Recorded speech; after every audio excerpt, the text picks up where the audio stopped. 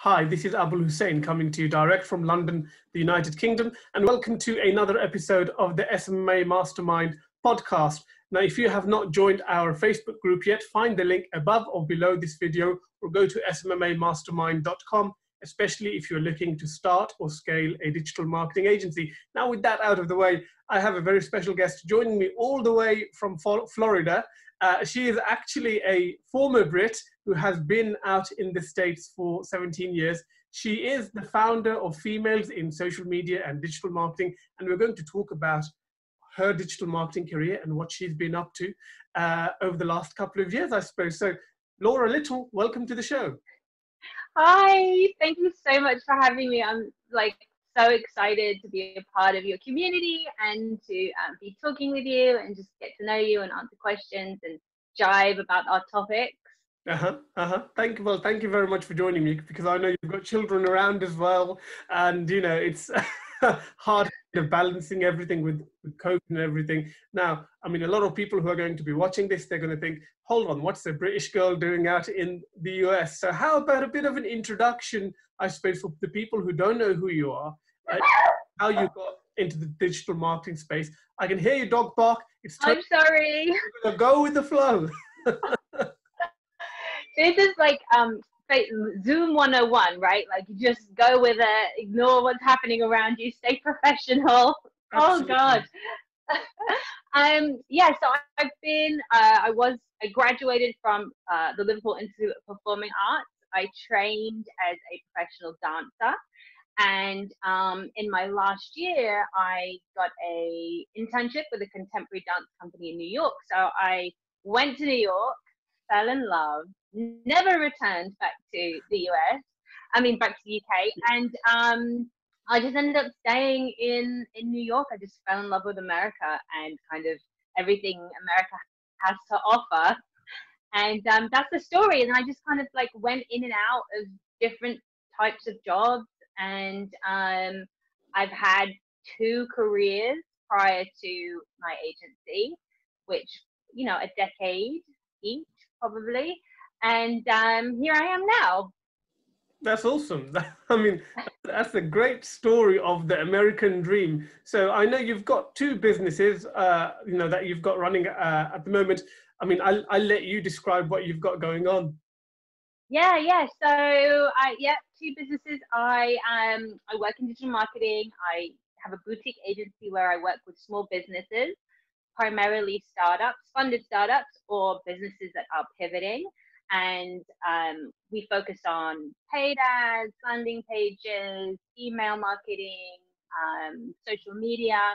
And then, um, actually, what really what kind of happened is I accidentally diversified through uh, Facebook groups because I created a Facebook group for uh, women who work in marketing to help myself and over the past year and a half, it just really blew up. And on the basis of that, I launched an educational platform in May.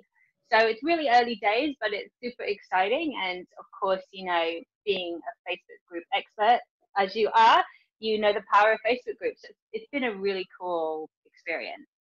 Yeah, I mean, launching a brand new business in the middle of the pandemic, you know, a lot of people might be thinking, what's going on there? Now, you mentioned that you're in the performance art space. So, how did that transition happen? You know, how did you make that leap from dancing, I suppose, or performance, uh, you know, performance based something, doing something performance based to being a digital marketer?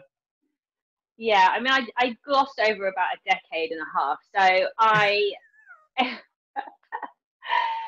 so I was I was taking I always used to love taking pictures. So when I got to the US, I just continued to take photographs, and I ended up eventually working. I got an internship working in a photo agency, and I became a producer because I wanted to learn more about the other business side of things, and that led me to opening a photography studio, and then I opened like two more locations. So, long story short, at the end of the first run, which was the photo studios and that, that business, I became very unhappy and um, I just became really not disenchanted, but I became uninterested, unfocused. I was very tired.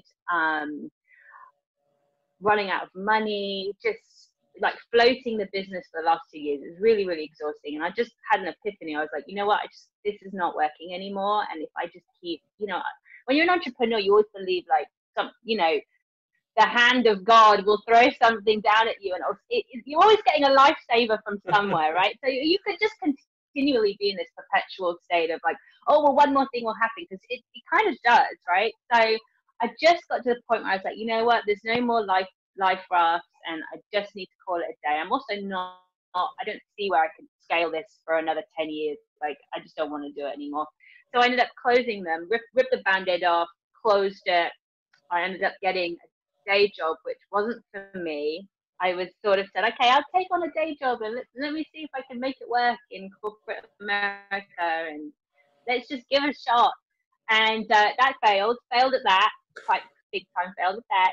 And but I want anyone to know that if you're an entrepreneur and you keep trying to shove yourself into corporate America, it won't work. So just take it from me now. If your calling is to start a business or your calling is to be in a startup, just go do it. Don't waste any more time trying to shove yourself into a job role that isn't you. Um, so then, are you tired yet? Are you exhausted yet? Um, so then. I, after that, I was, no, I'm loving it. Honestly, honestly, here's the thing, right? People look at someone and they think you're an overnight success. They look at the tip of the iceberg and not everything below the water. So everything that you're talking about here is the typical hero's journey. It's the typical entrepreneurial journey. And I love getting that story out, which is why I wanted to see what had happened in between. So Yes, I yeah, good. I'm glad. I failed loads. I've failed so many times. Lots I've failed loads. I've lost loads of money. I've failed a lot. I've fallen on my face. And it's taken a long time to really feel successful, if you want to call it that. I mean, or to feel like not treading water. Um, so once I left the day job, realized, okay, you know, actually the gentleman that I was working for said, look, Laura, you're just too smart for this. You don't need this. You're so nice. You just, what are you doing here? So he basically was like, just go back into the world and do fly, fly, you know? So um, then I said, how can I use my skills, things that I love? Um, and that's when digital marketing like kind of happened. And I just started to self learn. I already had some knowledge about photography, creative direction. I already had like kind of inbuilt intuition for that. Um, but then I started to, you know, just do training. I signed up for Facebook Blueprint. I made it a mission to get a client, and then it just kind of built from there. So, you know, it's that's how it happened. It, mm. It's just been kind of rolling from from that place. That's great. No, I mean, I, I love that story, honestly, because, uh, you know, it gives you, I suppose, for a lot of people who have been in the digital marketing space for as long as you have, you know, we know what it's like trying to set up set up a business. And you just touched on, you know, uh, you picked up a client after you did all of these courses. How easy or how difficult was it for for you to pick up your first client? Um, you know what? I'm kind of a firm believer in sort of, I mean, not to scare anyone, but not fake it till you make it. But you have to say, I'm going to do this, agree to it, and then commit to that, even if you don't know everything. I mean, nobody knows everything. I had to learn, but I couldn't learn unless I had a client to, to, to you know, to give me work to do. So, you know, if you're not, if you're not young and you're not going to traditionally go into like maybe an internship flow, um, you just have to take the skills that you do have and put those to work. So I didn't start off out of the gate offering paid ads. I didn't know anything about that. I just I knew photography. I knew I was a good writer. So I said, okay, I can do day to day posting. That's where I'll start. And then after I started that, and then I started to layer things on. So you know, Rome isn't built on you know in a day. Um, neither and you get, and I'm sure there are agency founders and owners that have never done any of this work, and they hire people mm. in and they automate stuff, or they outsource. They get the clients and they outsource. So whichever way you choose to do it, you just have to, in my opinion, I would just encourage anyone that's thinking of a life change or starting an agency to make the decision, stick to it, and just focus on that and just going forward, you know, because mm-hmm. there's so many reasons why not to do something, but there's so many reasons why you should do something too. And that's a great tip that you've actually shared there, which is to start with, I suppose, your strong point, because you were doing photography for many, many years.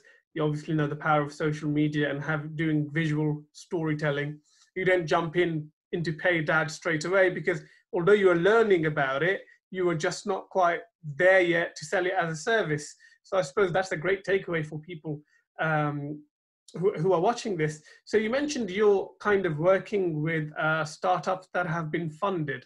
How did all of that come about? Yeah, so because um, I have an entrepreneurial background, I tended to just be most interested in the companies that kind of needed the most or were more interested in not necessarily in a full service, but just you know all of it. I you know i love not only just the marketing side of things i also love the business side of things. I love seeing something bloom like starting from a you know starting from a seed and blooming to an amazing flower. So and i also really like to feel like i'm part of the company even though i'm an external provider. Um so it just kind of put me more towards in like the startup genre as opposed to you know an established company i feel like there's more you can do um, when you're working with a startup. And generally sometimes the people that work in those companies are more open to being experimental. So there's just like a little bit more room to to do different things and to be more part of the team i think. Mm-hmm. and i mean did you kind of get, getting this getting to this place where you're like, okay, I actually want to work with startups. You know, um, was that something that you wanted to do immediately, or you worked with a couple of different kinds of clients until you got to the place where you're like, actually, this startup place is quite fun? Yeah, you know, I, you know, there is this thought that you know, niche down, right? Like pick a niche and focus on that. I, I like to do lots of different things. So in the beginning, I did work with different types of companies to test it out.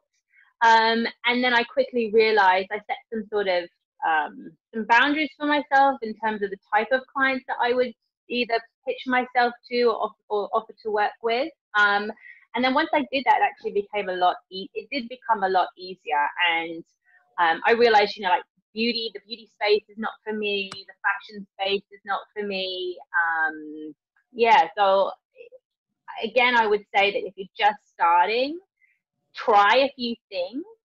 Um, and then once you find something that you kind of resonate with, then you know maybe you can niche down into that zone if you want. I also worked with a you know a construction company, and that was different, not for me long term.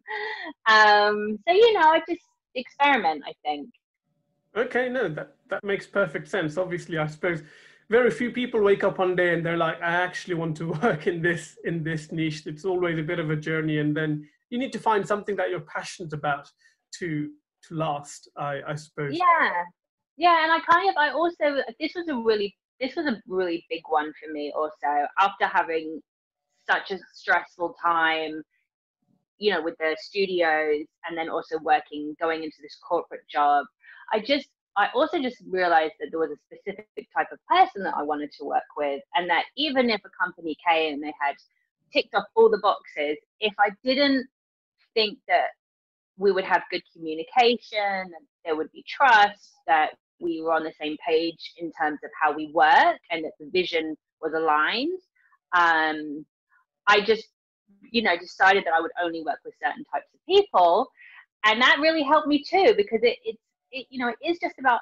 you know, it's not just about the money. It's also about like the life that you're creating for yourself. And yeah. so sometimes, not to be a hippie about it, but I just felt like if I wasn't going to be, you know, raking in all the big bucks and I was trying to cut or create a life that was good for me, then the way that I work and communicate with people was also really important. So that also helped a lot because immediately I could see with some clients okay, this just probably isn't going to work out. Like either they maybe they're they're fearful of marketing or they're not willing to spend six months investing or whatever it is, whatever the criteria was. But it definitely really helped. It helped me create great relationships with clients and also it helped me with like um you know client churn so now my retention rate is you know it's like a year two years it's not so short. So you know for that i'm really thankful and that, that's definitely something i would say to think about when you're pitching yourself to clients or you know trying to decide where what environment you want to work in. That's that's another awesome tip actually that you that you've just shared there because I think one of the things that a lot of agencies, a lot of consultants, freelancers, call yourself whatever you want, struggle with is the retention part and how important it is to find someone who is a good fit for you from the beginning to make sure that they're not going to jump ship in a month. So, I mean, what does a, an ideal client look like for you? Yeah, I mean, an ideal client from a business perspective looks like someone or a business that's willing to invest, um, a business that's willing to look at the long term strategy as well as the short term strategy because you know it's you can't just try something for a month and then expect results. You know, it's a lot of tweaking, it's a lot of measuring, it's a lot of um, data, it's creative, it's all of that stuff. And everything needs to be working for it to be doing the thing that it needs to do, right? Which is ultimately converting, let's say, you know, they want sales, conversions, whatever the conversion metric might be. So that doesn't happen overnight. And at least, you know, I feel like at least three months is the minimum time of commitment for this type of work if you want to do a good job. Um, and sometimes, you know, you find clients that are in sinking ship mode. They're just panicking and they're just like, let's just throw money at it. And then in a month, they've used all their money and then they're like, we didn't get what we wanted and then they're gone. So to me, client education is really important and really make, not making them, but really talking them through the process so they understand what's necessary and making them, making them, educating them so they know that it's an investment in their business, just like buying a computer or just like hiring someone. You know, like all of those marketing is an investment and it, it happens over time. It's it's not short term. Right, okay. And you mentioned beginning of the interview that you're working on landing pages and page social and quite a few different things uh, being a one-stop shop i suppose for them um, you know how do you kind of I suppose, summarize all of that in an elevator pitch. If you were to meet your ideal prospect today, uh, you know, how do you present all of that in in like a couple of sentences? Yeah, right. It's a lot. Um, you know what? I kind of don't. I I I like to. If you can't tell, I like to talk a lot. So I think what I do is I try to get to know the client and to find out what they need. So not everybody needs everything all at once but I definitely say, okay, you know, why are you panicking? Where's the panic coming from? What's the hole that you have in the business that you feel like you're not doing well? You know, how can I help you create these systems? So it's it's less about me pitching all the services and more about what's going on right now. What are you doing well right now, and what aren't you doing well, or what do you want to be doing more of, and what could we improve? So you know, it's more like that and less, you know, less pitchy. But I think anyone that is looking to get sales or do lead gen, I always feel like coming from, you know, coming from like what does the business need is the best angle. Mhm. Mhm. No, that that makes makes perf- perfect sense. It's kind of taking that approach of a doctor where you know you need to diagnose what's going on wrong first before you write a prescription uh, and and tell them they need a landing page when they when they really don't. Um, so what are you doing right now to kind of meet clients to do prospecting? What does I suppose prospecting look like for you? I'm sure you're not doing any cold calling or cold emailing.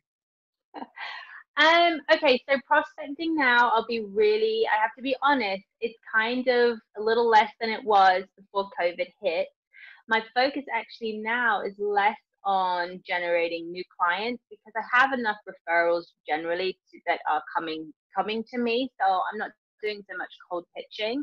Um, I'm really focused on focusing on being the best provider I can for my current clients, but my business has also kind of shifted with the platform. So right now, I'd say that I'm not really doing any um, lead outreach. Mm-hmm. Um, but if I was, I definitely cold email does work. I know people say email is dead, but it does work. Um, and you know, LinkedIn is a great tool. Also, I've had lot tremendous amounts of business come through LinkedIn. So, um, if you're thinking about where to get started, definitely say you know start with LinkedIn. That's a great a great tool. Mm-hmm. Well, that makes total sense because we we are kind of you know uh, got to know each other through LinkedIn LinkedIn as well. So it actually works if you use LinkedIn the right way. And the first message is no, you're trying to sell someone something. Um, so let's talk about um, females in social media and digital marketing. Your your group, how did that all come about? Yeah, so um, I I well when I started, um, I joined a bunch of groups because I wanted to learn, and I started to feel like it was kind of a boys' club. And no offense to all the boys, It's I love all the boys. and I've had some very, very nice male mentors that have helped me tremendously. So, you know, I, I do love the boys. Um, but there's kind of this kind of, um, you know, this kind of this Gary V thing where it's a bit broy and kind of like, um, you, know, got to sleep on your floor and you have to kill yourself, otherwise you'll never make a million dollars. And I just found it very, um, just not me. I know you, Yeah. we're English. We just kind of, uh, you know, Yeah. I don't know. I just didn't find it. I can't put my fingers on it, but I just didn't relate to it. And I found it like, well, I want to work smarter, not harder. And I don't want to have circles around my eyes. I want to have more time to go to the beach, to, to walk my dog. I, I just couldn't relate at all on any Mm. level. Um, and so, and I, now we talk about it, I've just recently got a message, a DM from someone who was trying to pitch me something, and he started was a young man in, in a like very good looking guy in a nice like shirt, but he started with like "Yo Laura," and I was just like, I I just can't, I can't have "Yo Laura," like it just it's not doing it for me.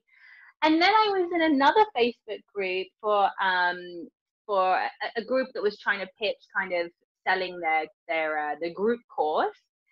And there was pictures of them like you know showing the lamborghini that they just bought from their you know like from the sales of the techniques they use in the group. And i just i, I just i i can't i can't get in on that. So anyway i said I, I, a boys club's not working for me. I just need to be able to ask questions not feel intimidated not look at your lamborghini not sleep on the floor. So I, ju- I just start my own group and i started a couple of groups prior that didn't really go anywhere. And then this group i just i said okay well you know what is it? It's females in social media okay fine and um, it just started to grow and grow and grow and grow. And then we got to about uh, 11,000 members. Nice. 11,000 yeah it was about 11,000 yeah we got to 11,000 we got to like a big number. And I kept saying oh you know when I get to when we get to 10,000 maybe I'll do something. I just don't really know what I'm going to do. When we get to 15 I didn't really know what to do with it. And then in the middle of COVID which you're right people were like you're crazy. What are you doing I just was like you know what enough I need to monetize and I need to grow this thing. And otherwise, I could just have this beast of a Facebook group that's just it's going to be out of control. I don't have anyone to help me. How am I going to do it? So that's how the platform kind of came about. And I spent Mhm. enough time in the group seeing what the women needed. So I had a very deep insight as to what the holes were in their learning and what they were asking for. And then that's how it kind of all became the thing. That's that's really awesome, absolutely awesome, and you're totally right because you know I'm a part of some of these Facebook groups, and like yourself, being male, I can't relate because often you find 16-year-old gurus with a Lamborghini in a tank top somewhere in Miami. you know, I'm like, well, if reality was like that, I'm sure things would be very, very different. Um, but yeah, and the whole kind of, you know, 10x yourself to a heart attack, always hustle, forget about everything else. You know, it just doesn't work. You're right. I mean, I think, you know, Brits are a lot more skeptical when it comes to, you know, uh, kind of dealing with um, people selling the American dream, if you like. yes yeah totally i i just find it so unrealistic and even when i joined you know, I'm watching their Facebook live stream because I'm thinking, oh, maybe, you know, maybe I'm going to learn something. Let's see what's going on. But people really buy into it. And then I feel like they get disappointed. They end up spending a lot, and it's not cheap. They spend a lot of money on joining the courses. And then, you know, it's it's not cheap and it's not I, I don't believe it to be true a lot of the times. Um, mm. Maybe I just need to go through the course myself and see if it works. But I just, it's just, yes, it's just, it doesn't work. And I know because I know how hard it is. And you know, it, when you have a Facebook group, you know, it's content, it's going live, it's, you know, it, it's not that easy. It's not that simple. So, yeah, I don't know. No, you're right. You're absolutely right because I've spoken to a lot of people who've been through the courses and they all talk about pretty much the same things. You know, if you're going to bake a cake, there's so many ways that you can bake a cake. Same with kind of if you're going to go get clients or if you're going to deliver a paid social campaign or whatever. You know, you know nobody's inventing uh, the wheel, if you like, reinventing the wheel or anything like that. It's just everyone has their own take, and I think there's a lot of copycatting as well. People copy, you know, copy. People see someone doing well, they copy their course, put their own tweak, whatever it might be. And that's a whole industry in itself. But education is a space that kind of, you know, th- there is a huge need for education, but I find that a lot of it is filled filled with hype. So I know we're very quickly running out of time. Let's talk a little bit about your education platform, you know, to to wrap up, you know, how's that coming along? What's your mission with that? Yeah so if you want to say we're in year one um, the mission i would say is to so it's a membership site basically so you subscribe to the membership. It's really at this time focused on beginners or entry level i would say or even people that are pivoting it could be older and then they want to you know go into the field of social media marketing. So it's a subscription. Um, subscription gives you access to free resources so a lot like pricing um, what else do we have? We have like hashtag tools, we have downloads, all a bunch of stuff, some mini workshops, things like that. And then also access to the Facebook group, which is now this, you know, big community. Um, but my big push or my big goal for, you know, the end of the year is to really focus on jobs. So, you know, how do you get hired? How do you put your resume together? Having jobs accessible on the platform. I mean, they're there now, but really like pushing in a bit of a bigger way and then also mentorship. So how can I, and I've been really toying with this, but how can I set these women up with mentors or how can we do like kind of mini mentorship weeks or, you know, maybe it's like a four week morning meeting or something like that. So right now the goal is to, you know, keep creating content, keep creating courses, but really by the end of the year, I'd really love to just be able to highlight the jobs and also the mentorship. So that's my goal. And of course, continue to bring women into the fold because, you know, the more women we have, the more we can do. Awesome, absolutely awesome. Now, if you are, if you identify as a woman and you are watching this yes. and you want to be mansplained digital marketing, then go on Facebook and go on LinkedIn and find Laura's profile. On that note, Laura Little, thank you very much for your time. Oh, thank you so much. And I'm, I'm, I'm happy to just talk to anybody if you need assistance or you have more questions about the Facebook group or the questions about the platform. Um, please, you know, just reach out to me on LinkedIn. I'm, I'm happy to talk to you. And I want to thank you so much for having me and letting me jabber on. I feel like I just blew up this space with all my talking. Oh, I loved it. I loved every moment of it. So, you know, it's, it's, it's a great start for me. Good. And if you want to visit the platform, you can just check it out. It's on fisdom.com. So F-I-S-D-M.com. And we have some like cool blog resources and other things that are free. So you can totally sign up for those things also. And you don't have to pay if you don't want to. Great, great.